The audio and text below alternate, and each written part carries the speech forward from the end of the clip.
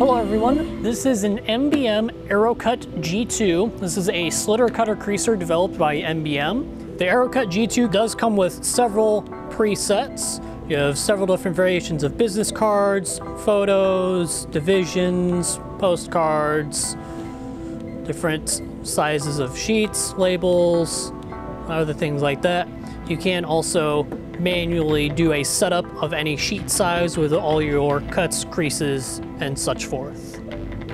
We're gonna do a quick demonstration of some business cards here for you.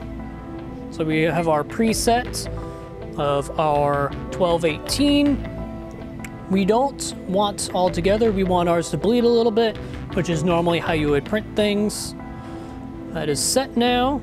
We've already initialized the motors to their correct positions, so we're gonna run a couple sheets.